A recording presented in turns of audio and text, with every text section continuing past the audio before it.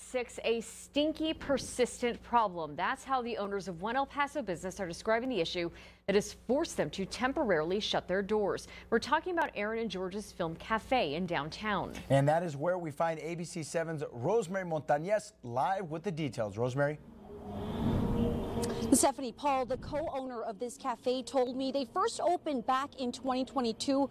They've attracted both film and food lovers from across the city, but they've been having these sewage issues since last August. They just want answers so their cafe can reopen.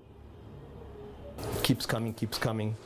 And then in the kitchen, oh, it's hard not to notice the smell of sewer inside Aaron and George's Film Cafe. The co-owner, Douglas Winter, says it started last August. It literally is flooding every day. And when you see inside, and you got to hold your nose, you Uh, you'll see, you know, we, we couldn't continue. He says plumbers have repeatedly fished out magazines, mop heads, excessive wipes, and other large items. They had no option but to close. It's already hard to do. This is not a, like a high traffic area. It's already hard to do business, and we're me and my, my wife and I we were doing very well for a very quiet street, right? People would walk and go really out of their way. And people would come and say, oh, I came all the way from the east side for your Greek salad. He says the landlord has been supportive, not asking for rent the next few months. So that's that's not a disaster. So I'm not I'm not um, drowning in bills. Well, otherwise I wouldn't do this. So it's so, you know, but I'm not making any money. I saw some customers hoping it was open. They are thankful for the community's support. People are yelling, when are you opening again? You know, people are waiting for us to open again, but we can't. You could probably smell it now.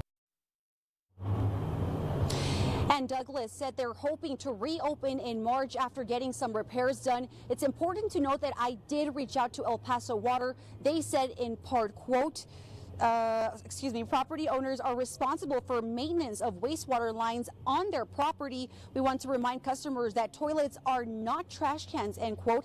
The city of El Paso also says an inspection crew found one building nearby had a code violation. They did not specify what that violation is, but a city spokesperson told us they still need to inspect the building where Aaron and George's Film Cafe is located. I'm reporting live in downtown. Rosemary Montañez, ABC 7. All right, hopefully they open again in March like they are hoping that they can.